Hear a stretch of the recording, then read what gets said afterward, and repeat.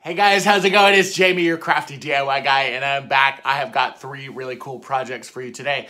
Now, before we jump into that video, if you are one of my OG subscribers, thank you guys so much. Seriously, I love it. I'm having such a blast with you guys, and uh, I think of you all as friends, so thank you again for being here. If you're one of my newer subscribers, thank you also for coming to the channel, whether you came through Megan at Glue Guns and Roses, or whether you came through The Crafty Couple, or maybe you just stumbled upon me, or one of the other many YouTubers out there that might have shared the channel. Uh, thank you. Seriously, I know that there's a lot of us out there, and we're all trying to bring you a lot of really cool content and a lot of cool projects, so hopefully you are enjoying everything that you're seeing here.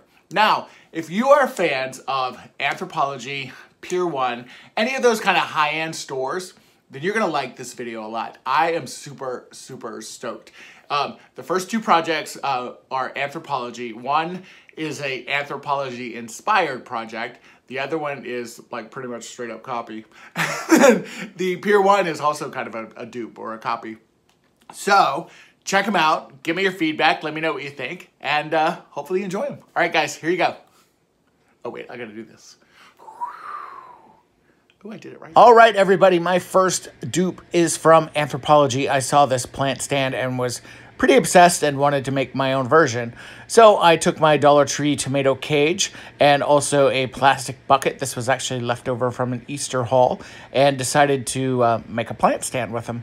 So the first thing I did was trim off these edges. You'll notice on your tomato cage that there's one side that is uh, kind of rounded and it almost looks like feet. And then there's another end that is squared off. So you're going to actually cut the squared off ends of your um, tips off here. And then what you're going to just simply start to do is remove the um, kind of wire circles that are on there. And then once you've done that, go ahead and start to flatten out that end that you clipped off with your wire cutters. And I flattened it about, I would say about two inches, maybe an inch and a half. And um, what you're going to do is you're going to slightly bend this at a curve, but you want to be very, very careful with this because these will snap. They are very thin metal and you, uh, you know, you don't want to mess up one of your legs. And then when you get done, they they all should be about like this. So they should kind of be a, um, you know, similar angle, I guess is what I'm trying to say. Um, and then the next thing you're going to do is you can see where I used a red Sharpie and just kind of marked the bucket spot. And uh, all I'm doing is taking my, yes, my janky tube of E6000 and just making a return appearance. And uh, I'm putting some glue on there. That way I can kind of uh, make sure, one, that this is going to stay because this is going to go out on my front porch. And regular glue gun uh, glue will actually melt in the heat. So we don't want that with summer coming. So um, again, I added some hot glue to that because it does help speed up that process of that E6000 drawing. And then I literally just kind of lined it up with that little mark that I made and pushed it up against the side of the bucket, holding it until it was pretty firm in place, really about until I would say that that hot glue started to dry.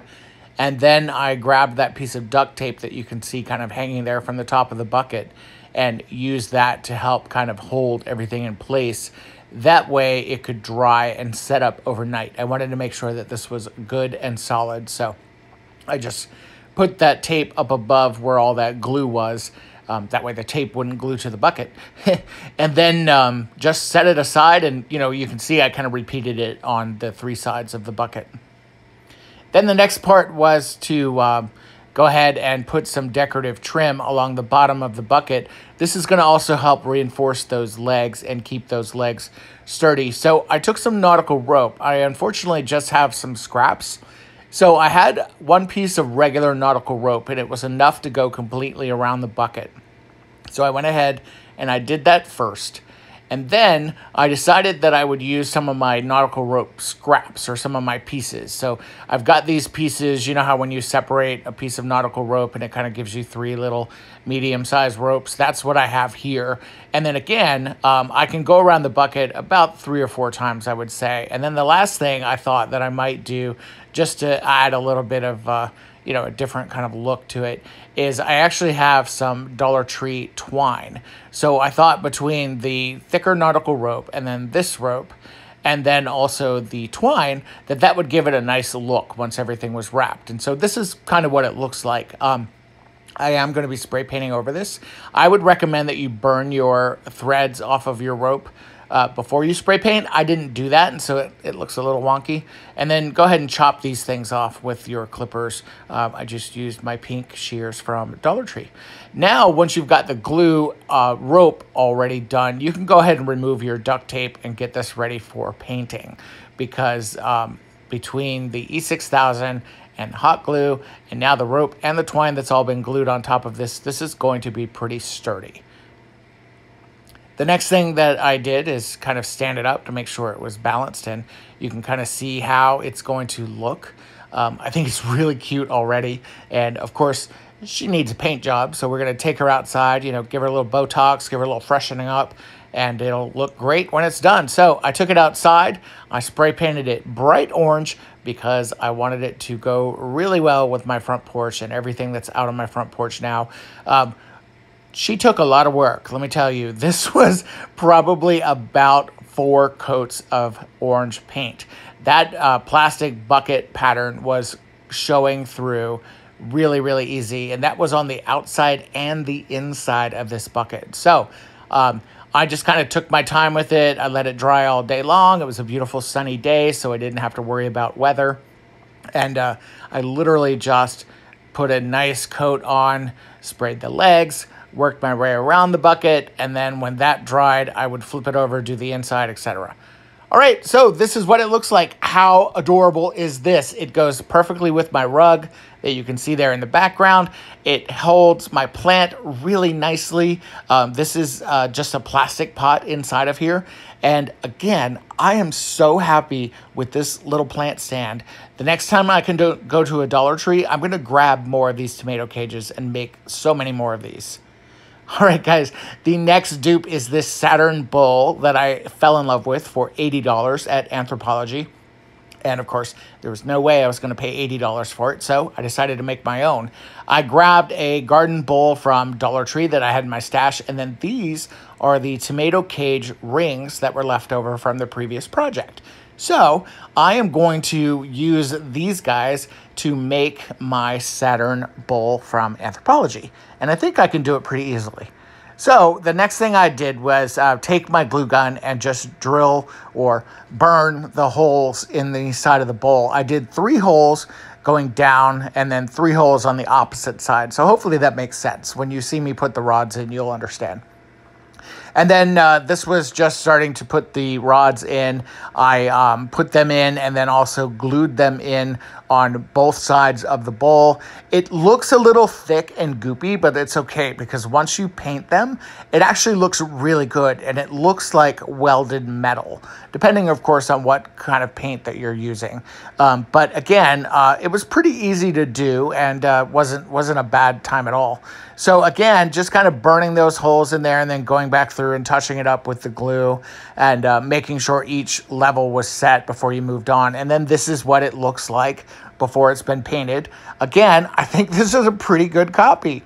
So I went ahead and wanted to put feet on mine. I didn't have the patience for the uh, kind of longer stick legs that that one had, so I just glued these wood beads on the bottom. And then I took it outside and spray painted it with some bronze hammered paint, and I love this. I really, really love this. I saved myself 80 bucks and this was basically like $2 to make, minus of course the succulents and the rocks that are already in there.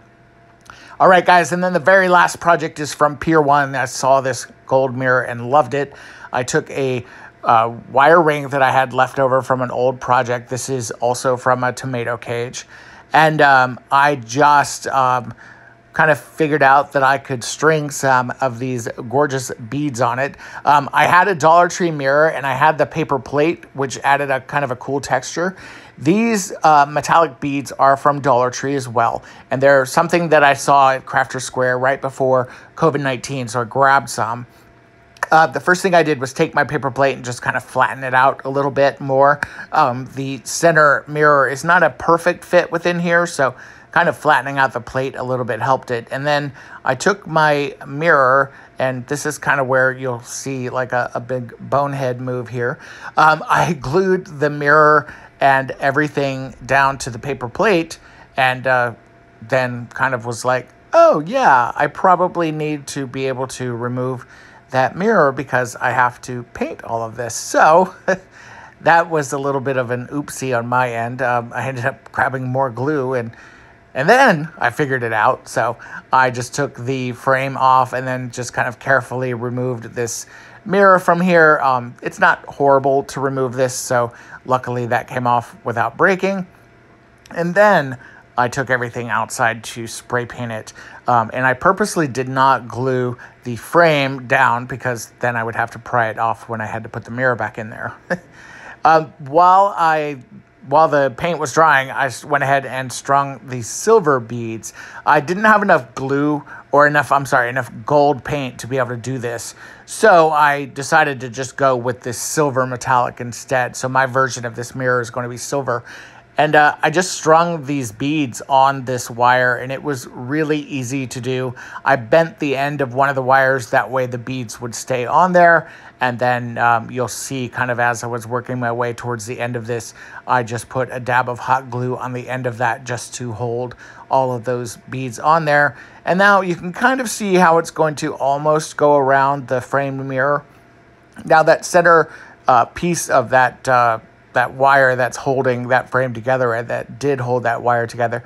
I ended up cutting that off and uh, here I just put a little bit more glue because I was afraid that these things were going to fly off and go across the room. And uh, then I figured out that I could just cut the tip of that wire off where that uh, clamp is and it would be totally fine. Now this is what everything looks like after it's been spray painted. I love this silver metallic spray spray paint. This is actually from Ace Hardware, and uh, it's again a pretty cool paint, and I use it in a lot of stuff. So this is the one that I grabbed, and um, it's super cool. So now it was time to go ahead and just glue my mirror back to the cardboard frame that I had hot glued down before. So I tried to make sure that this was pretty centered and um, you'll see it's it's a little off-centered, but I made it work. So um, again, I put a generous helping of hot glue down in the base here, which is probably why I couldn't move the mirror afterwards. And then I just glued everything back down. And then for the beaded uh, kind of necklace, we'll call it, I just worked my way around with some hot glue.